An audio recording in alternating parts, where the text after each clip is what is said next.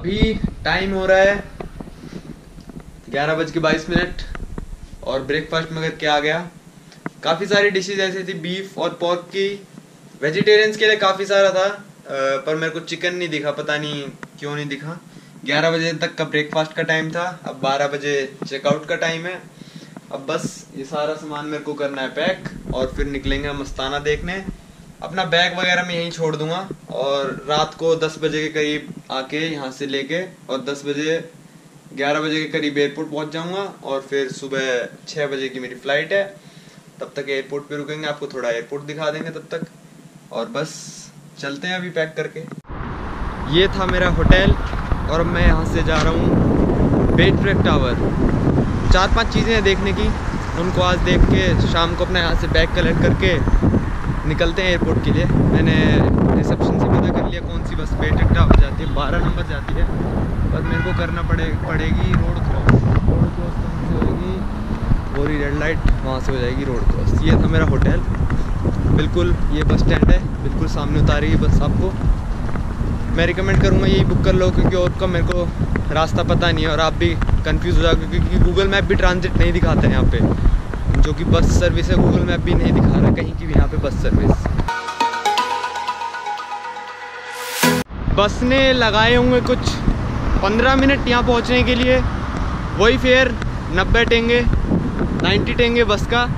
और मेरे left side पे है ये बे ट्रेक टावर अभी ये जो सिटी है, ये 20 साल पहले ही डेवलप होनी शुरू हुई है। क्योंकि 20 साल पहले इसको कजाकिस्तान की कैपिटल बनाया है। तो इसलिए यहाँ पे मैं जैसे बस से आ रहा था तो ऐसा लगा जैसे कि थोड़ी सी बनी है, अभी थोड़ी सी बची हुई है ये। अभी 20 साल के अंदर, शायद आने वाले 20 साल के अंदर, ये सिटी जो है एशिया का जो है ट्रांजिट हब बन सकता है। क्योंकि पूरी सेंट्रल एशिया और यूरोप से सारी फ़्लाइट्स आके यहाँ पे ट्रांजिट करना शुरू करेंगी, जहाँ तक मेरे को लग रहा है।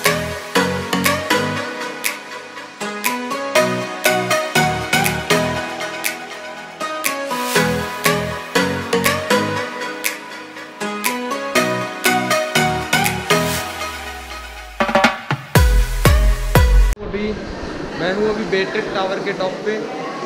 और इसकी एंट्री टिकट है सात सौ टेंगे सेवन हंड्रेड टेंगे जो कुछ होता है एक सौ चालीस रुपये के करीब। और यहाँ से कुछ अब वापस, बहुत बहुत छोटा सा है, पर अच्छा है। अस्ताना पूरा दिख रहा है यहाँ से।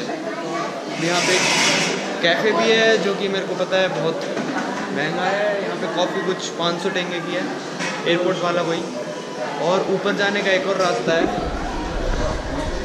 और और यहाँ से आपको पूरा जो भी मेन सिटी है, ये लिफ्ट जिससे मैं आया। आपको क्या करना है लिफ्ट की लाइन में खड़े हो जाना है और अपनी टिकट जो है फाड़ेगी वो। जो असिस्टेंट यहाँ पे फाड़ेंगे और तभी आपको एलिवेटर में जाने देंगे। मैं खड़ा था और मेरी टिकट उसने चेक नहीं करी थी। तो एलिवेटर में जगह थी तब भी मेरे को नहीं जाने दिया। पहले चेक करते हैं और फिर आपकी टिकट फाड़ेंगे, फिर आप मतलब अगली बार जा सकते हो। यहाँ से कुछ ऐसा व्यू? पूरा अस्ताना शहर दिख रहा है यहाँ से। और शहरों की तरह नहीं है ये। अभी थोड़ा कम डेवलप्ड है, पर यहाँ पे आप बैठ सकते हो, आराम से चाय वगैरह पी सकते हो। पर धीरे धीरे ये शहर मेरे को जहाँ तक लग रहा है, डेवलप हो जाएगा। क्योंकि अभी बस कैपिटल बनाई है ये। अब चलते हैं ऊपर। ये सीढ़ियाँ हैं और ऊपर जाने के लिए। पता नहीं ऊपर क्या है, अभी मेरे हिसाब से शायद कैफ़े है। नहीं, कैफ़े नहीं है और भी बहुत कुछ है ऊपर।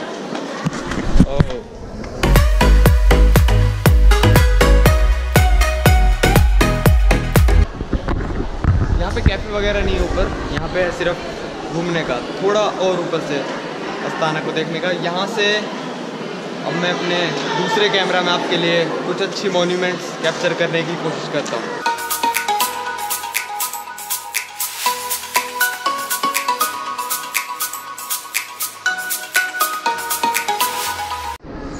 ऊपर आके मैं एक सीढ़ी चढ़ के और ऊपर आया था।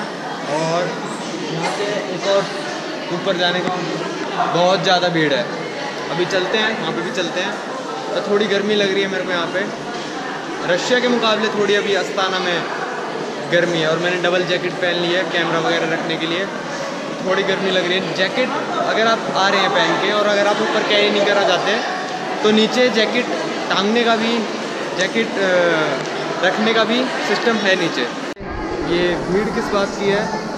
यहाँ पे सब लोग, यहाँ पे ऐसे हाथ रख रहे हैं इस पर और फ़ोटो खिंचवा रहे हैं। मेरे को पता नहीं इसका क्या मतलब है, पर यहाँ पे सब लोग ऐसे कर रहे हैं।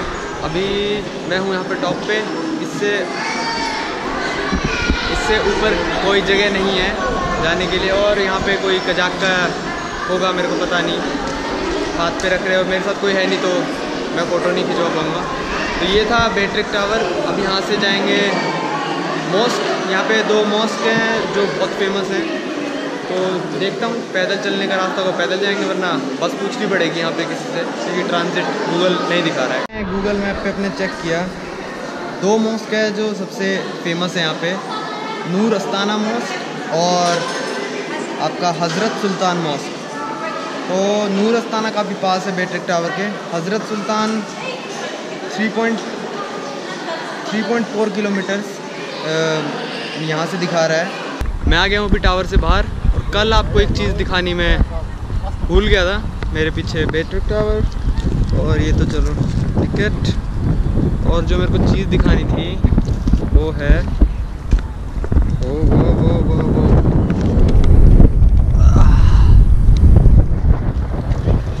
ये हज़ार टेंगे का नोट। सबसे प्यारा नोट मेरे को यहाँ पे हज़ार टेंगे का लगा।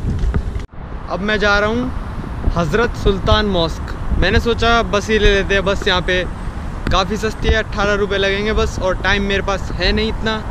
तो इसलिए मैं अभी बस स्टैंड पे जाके पता करता हूँ कौन से नंबर की बस जाएगी। तो अगर आप बेट्रिक टावर के साथ हज़रत सुल्तान मॉस्क भी जाना चाहते हैं तो आपको बता देता हूँ भी कौन से नंबर के यहाँ से बस जाती है। पीछे मेरे वो बस स्टैंड जहाँ पे मैं आया था बैट्रिक टावर के लिए, वहाँ पे दो तीन लोग बैठे थे, कजाक के ही लग रहे थे। क्योंकि यहाँ पे चाइनीज़ टूरिस्ट यहाँ पे भी है तो मैं डिफ्रेंशिएट नहीं कर पा रहा हूँ। तो मैंने उनसे पूछा, हज़रत सुल्तान मॉस्क, उनको पता ही नहीं था कौन सी बस जाती है तो वेट करने का मतलब नहीं था मैंने गूगल पे देखा नेट पे नहीं ऑफलाइन मैप पे जो कार का रूट है, बस उसी रूट को मैं फॉलो कर रहा हूँ। तीन किलोमीटर यहाँ से, अब कोई ऑप्शन नहीं है तो चल के ही जाना पड़ेगा, क्योंकि गलत बस लेने से अच्छा मैं चल लेता हूँ। पंद्रह बीस मिनट में पहुँच ही जाऊँगा। अब आपको पहुँच के बताता हूँ। और वहाँ से पता करने की कोशिश करूँगा मैं कि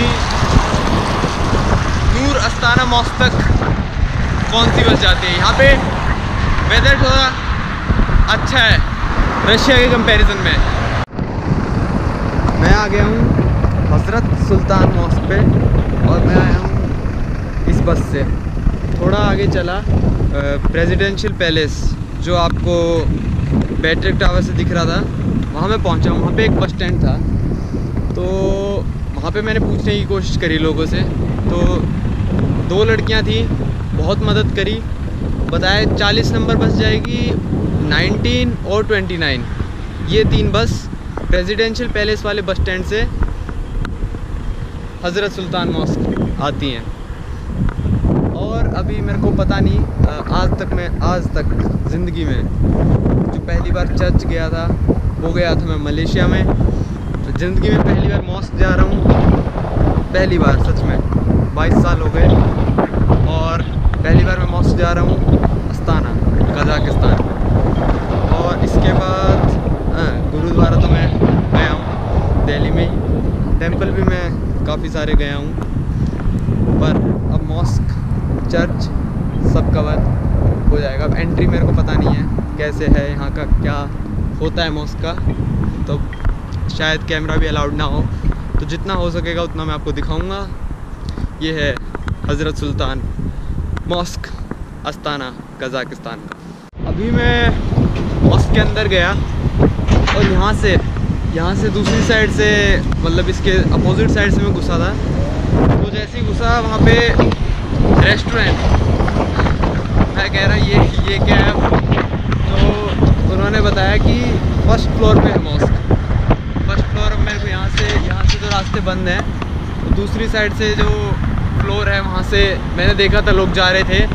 तो मैं उस साइड जा रहा हूँ और अंदर एक लेडी जो रेस्टोरेंट में काम करती करती है, वो मतलब मैं ऐसे जा रहा था और एकदम से वो बोली, आप नमस्ते, आप कैसे हो? मैं एकदम से मतलब हैरान कि यहाँ पे अस्ताना में भी हिंदी बोलने वाले मतलब एक दो लाइन कोई तो मिलता है। जैसे उज़्बेकिस्तान के, ओ, सॉरी, तजाकिस्तान के मेरे को एक आदमी मिले थे रशिया में मेरे को काफ़ी आदमी मिले जो हिंदी बोल लेते हैं थोड़ी बहुत, और यहाँ पे भी आखिरकार हिंदी बोलने वाला कोई तो मिला। मैं हूँ एक अभी बस स्टैंड पे और यहाँ पे कोई नहीं है तो खुद ही पता करना पड़ेगा कि कैसे जाना है। तो मैंने पता कर लिया है थोड़ा गूगल मैप पे देख के। तो ये है बेट्रक टावर यहाँ पे हूँ मैं। और मेरे को जाना है यहाँ पे। ये जो कार्डियक सर्जरी क्लिनिक है, ये मैंने टाइप किया और नूर अस्ताना मॉस्क 400 मीटर की दूरी है इन दोनों में। और वैसे जाना चाहो तो 29 भी जा सकती है, पर ये थोड़ा अलग रूट है। तो 40 नंबर बस नूर अस्ताना मॉस्क जाएगी कहाँ से? हज़रत सुल्तान मॉस्क से। ये खुद पता किया मैंने। अब देखते हैं पहुँच पाता हूँ या नहीं पहुँच पाता।